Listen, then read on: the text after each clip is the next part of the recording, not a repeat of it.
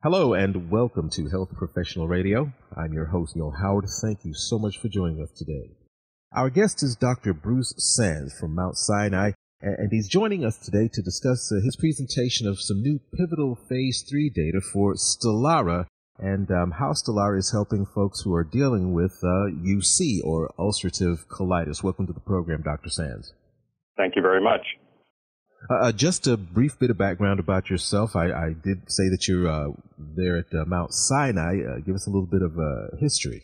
Sure. I've been at Mount Sinai for eight and a half years now. I'm the chief of the Division of Gastroenterology, a very historic division where Dr. Crohn in the 1930s described what we call Crohn's disease. So it's a very large uh, referral center for inflammatory bowel disease. We're uh, talking about Stelara and how it's uh, helping patients uh, who have ulcerative colitis. What is ulcerative colitis? Ulcerative colitis is a chronic inflammatory condition of the large bowel uh, that is lifelong, uh, uncurable except by total proctocolectomy and uh, has a number of available treatments, uh, but but still there are many patients who do not respond to existing medications, and so there's a large need. These patients suffer from chronic diarrhea, usually bloody diarrhea, fatigue, and many other manifestations that disrupt their lives.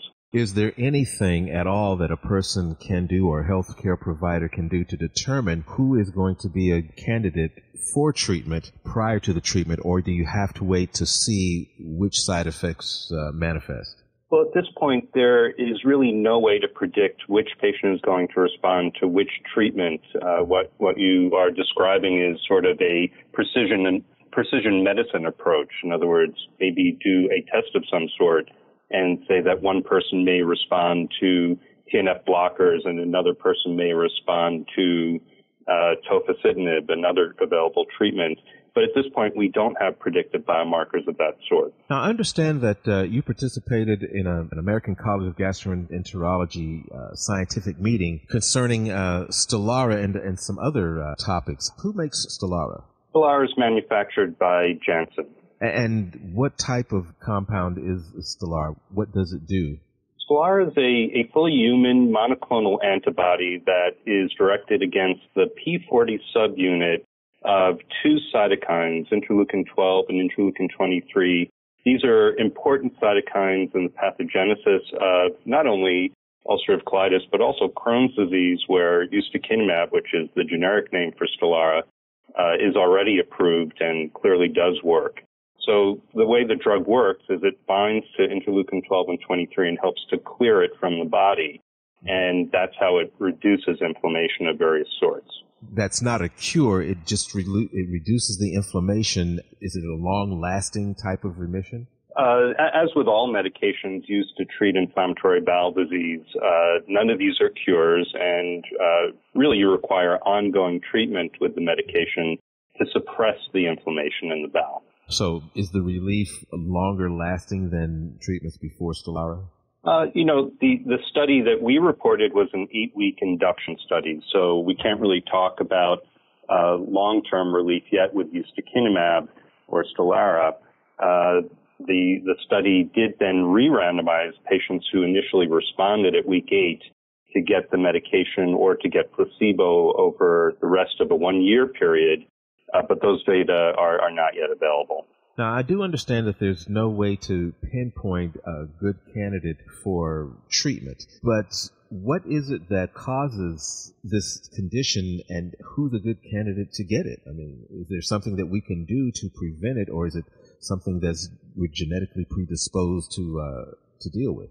Yes, uh, unfortunately, the understanding of why people get ulcerative colitis or Crohn's disease, which is the other major form of inflammatory bowel disease, uh, the, the, reason people get it is not totally understood.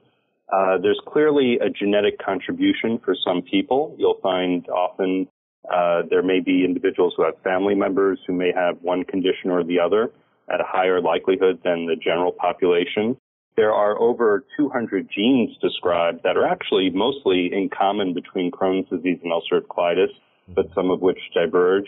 But, but actually, uh, genes alone are clearly not what predisposes someone. There are clearly also environmental factors And the, the best uh, uh, understanding these days is that there may be uh, factors in the intestinal microbiome, in other words, the bacteria that normally reside in our colon that may dis- may predispose someone to developing these diseases. Uh, but again, there, there's no way actually to predict who will develop these diseases. Uh, once they occur, good treatments are available, but uh, it, it is a it, realistically it is a trial and error process to find which drug will work work for which patient. Does UC cause other gastrointestinal problems to, to manifest, or can it stand alone and cause you know as, as much trouble as anything else? Uh, it, it's very problematic in its own right. Uh, again, the symptoms that patients will normally have will include uh, diarrhea, meaning looser and more frequent stools, urgency and need to rush off to the bathroom, blood in the stool, and consequently anemia and all, all the symptoms that come with anemia, such as fatigue. Um, people may also have manifestations outside of the digestive tract, which may, may include uh, joint manifestations like arthritis or joint pain. They may have certain eye problems, mouth sores, skin problems. There are a whole variety of other things that, that can occur. Weight loss may, may occur, um, fevers in the most severe cases. And so it has very broad manifestations and can be very debilitating. Well, where can we go and uh, learn some more about this new Stelara phase three uh, data for ulcerative colitis or UC? And uh, some more about uh, the American College of Gastroenterology and uh, where you're practicing as well. Sure. At, yeah. So at at the moment, uh, the the information would be available only as abstracts from the American College of Gastroenterology meeting. It was a late breaking abstract, so one would have to search uh, the American College of Gastroenterology's website, although eventually it'll appear in their publication of abstract. Um, and uh, as far as Mount Sinai, uh, we are located in New York City in Manhattan on the Upper East Side. And uh, you can certainly look at mountsinai.org if you want more information about our Inflammatory Bowel Disease Center, which is a very large and renowned center. The American College of Gastroenterology is uh, one of the premier national organizations for gastroenterologists, and I believe their website is acg.org. Well, thank you for joining us here on Health Professional Radio, and um, I'm hoping that you'll uh, come back and uh, speak with us again. My pleasure. Thank you very much. You've been listening to Health Professional Radio. I'm your host, Neil Howard. Transcripts and audio of this program are available at hpr.fm and healthprofessionalradio.com.au. You can subscribe to this podcast on iTunes, listen in and download at SoundCloud, and be sure and visit our affiliates page at hpr.fm and healthprofessionalradio.com.au. Thank you for listening to Health Professional Radio. We're very proud to be an independent broadcaster providing our content free of charge to you, the listener. One of the ways that we're able to remain free and independent is by having people like you become patrons. You can support Health Professional Radio simply by visiting hpr.fm and clicking the button that says Become a Patron.